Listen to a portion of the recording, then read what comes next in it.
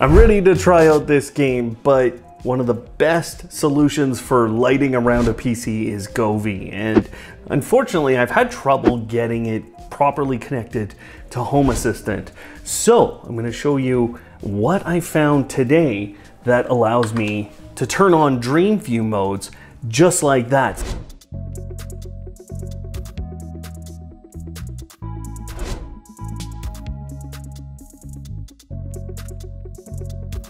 First thing I want to do every time we do a Home Assistant tutorial is tell you what I'm using. So here's the version of the core, the operating system, everything you might need. You might be on a different version and so things might change. Now I'm using a Home Assistant green for my setup.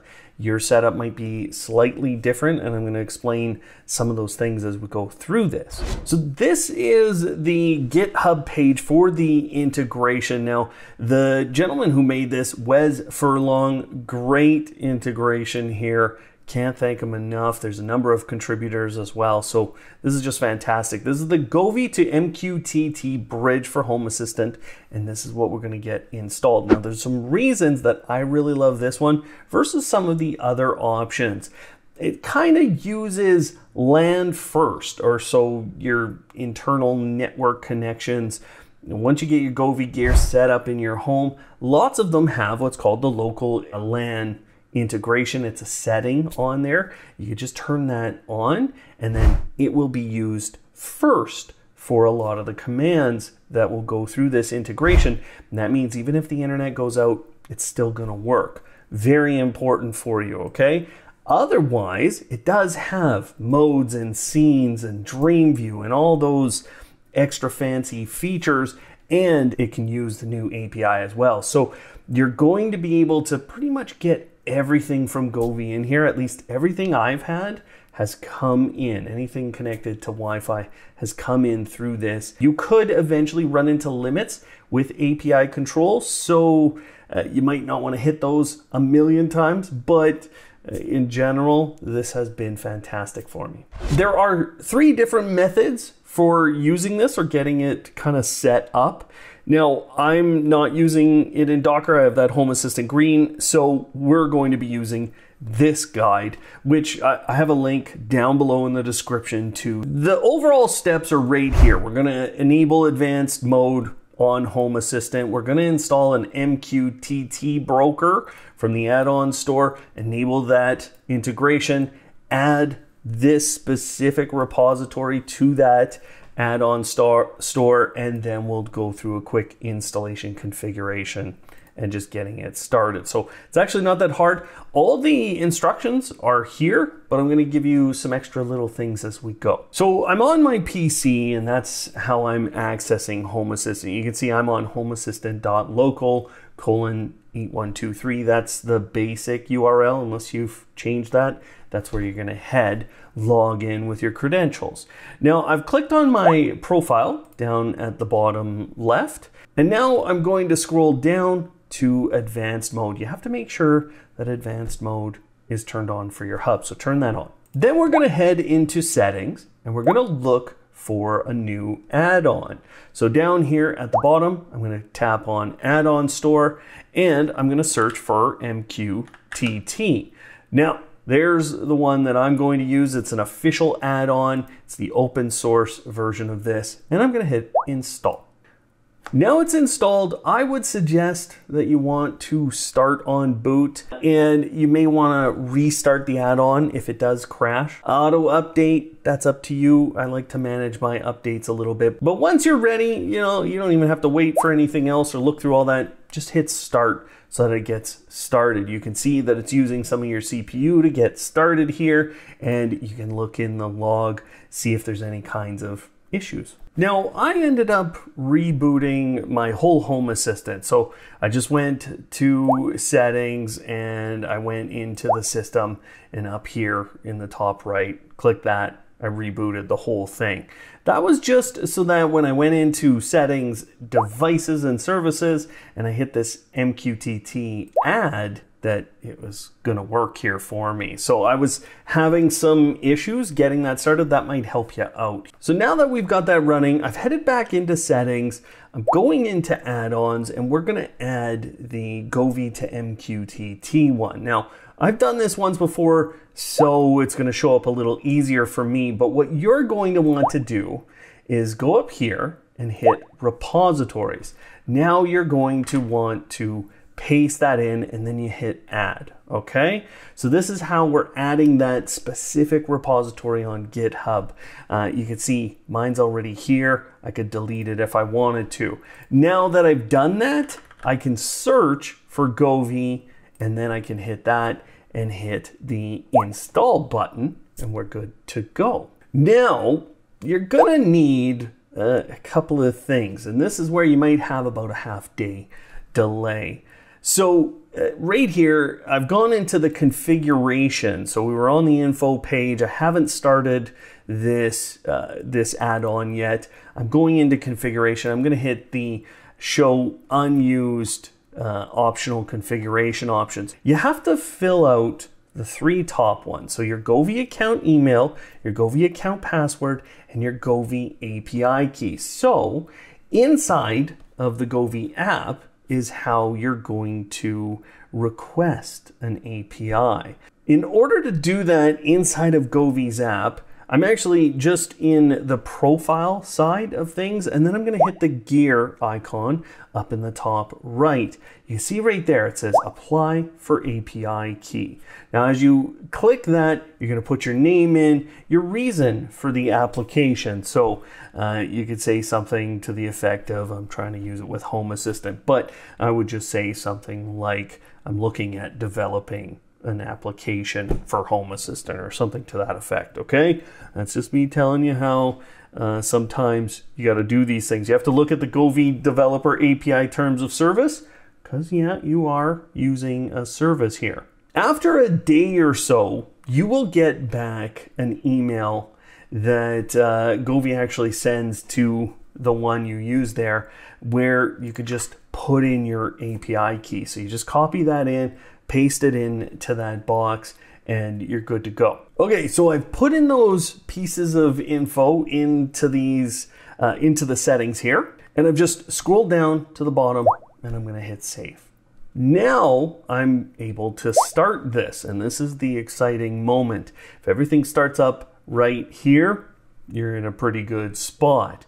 I'm gonna go into the log and, and kind of watch this. Now, you're obviously go, not going to see all the information from my system here, but as I watch this, there's actually a lot of information. You can kind of see it go through and discover all your different devices, and uh, you, you get a feel for what's being discovered. Then we're going to head to one more spot where we can start to kind of configure things, adjust things, and then I'll show you how it now all works. Now that we have the integration done and working, there is a short conversation to have about Matter and Govee. Now, a lot of the products that are coming out today are going to have the local API, and I think it's just as good to use that as it is to use Matter today because in a lot of cases, through this integration method, you're going to do most of the control locally. And then if you need to send commands to the cloud for any reason,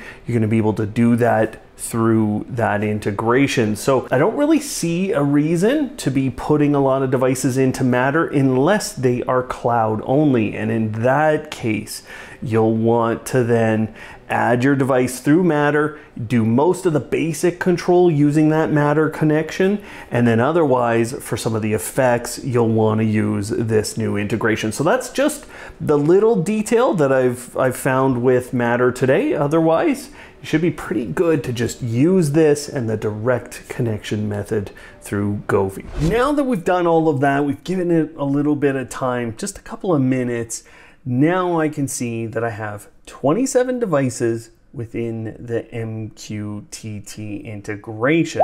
I can click on MQTT, I can go to the devices, I can see all the different entities. We can click in here and now you're seeing all my different Govee lights have been integrated here. Any of the Dreamview scenes that I have created also have their own device. Then I have entities and I can filter for uh, specific integrations. So I'm going to specify MQTT here. And this is where, you know, you're getting a lot of entities that do a lot of different things. So for example, yeah, here's the AI gaming sync box. I have this on my PC here. I have a toggle for its dream view. I have gradient, I have power switch. I, ha I can request the API state. Okay, maybe not a big deal, but I have different segments even that I can individually control. And of course, I have a status. There's a basic light too that I can go into, and you can see all the effects are here, including uh, some of the ones that like I've created, my DIY ones. So there's just a ton of options here for basic control within the, the, the basic device, but then I have other entities that I can use. So in the past, you know, I had a pretty complex automation using Govee's app, a, a number of other things to kind of make my uh, desk strip. I have a I have a LED strip here on the desk and that sync box and another uh, set of lights called the cube wall sconces. I had all of those and I had this really complex method of getting Dreamview turned on. I'm able to take all of these different components of the automation and delete them all because of this integration. So it's making my uh, automations with Govee really simple. So I'm just gonna do an add action. We're gonna choose our device. And now you can see I have all these different options. I, I can toggle all the different segments. I can change even brightness in the different segments. Look, it just goes on forever. So if I'd like now, I'm just gonna turn on my gaming sync box. This is a toggle for Dreamview when I press that button. I'm gonna hit save. And now, it just turned on Dreamview on my computer like that. And because it's a dream view, it just turned on three lights. So I actually only sent one command to Govee's API. Now that we have the overall system working, we have all our new devices, there's obviously a number of things we can do. So number one, you can create little automations, and there's a lot of options now for automations. Not everything works perfect. I'll say I sat here, I played with a few things for a while, and I've kind of come to this uh, in, in terms of how it works for an automation or it works really well.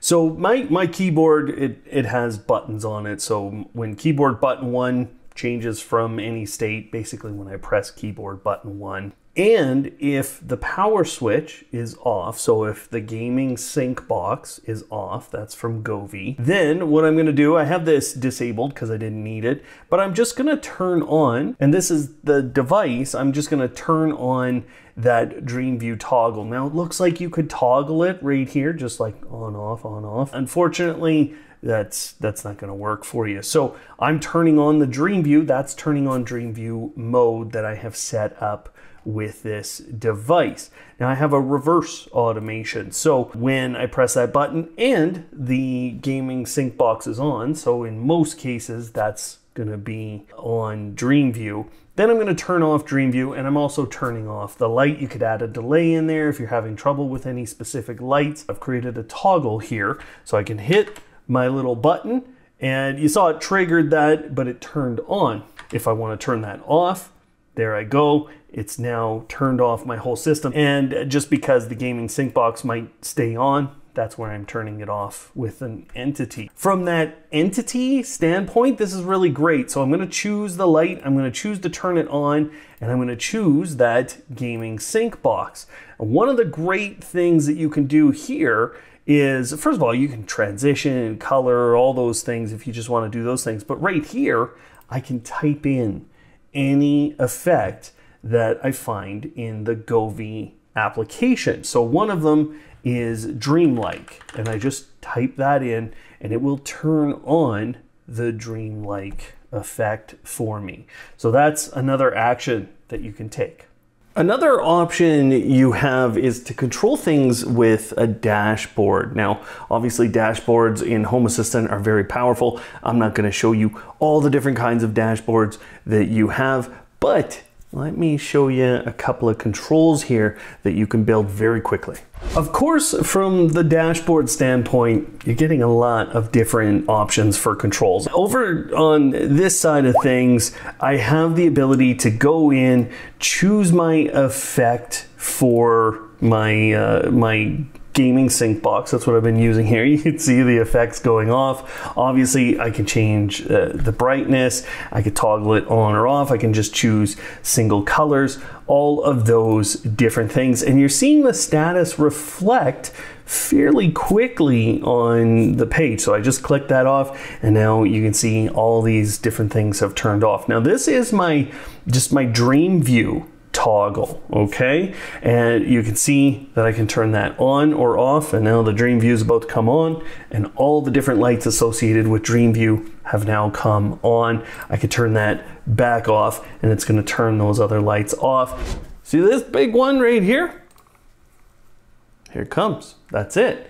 Now I can also uh, turn on and off the Dream View component. So I just turned off Dream View for the whole system, but I didn't actually turn off the gaming sync box. So it can run effects. You can uh, choose those effects in your automations or on your dashboard and you can see it running back there. But if you want the whole dream view thing I got a little toggle right here I have this third section over on the right where I can turn on and off the power switch this one's very quick um, and I can also turn on Dream View just like that. So saw me turn that on, it's turning on all my lights again for Dream View.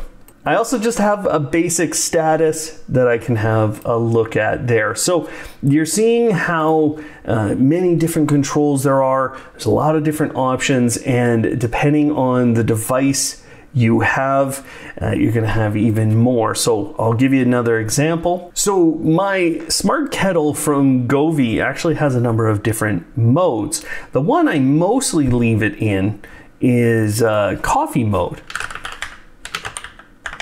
But you can see how I can put it into its DIY mode, which is a mode you can set.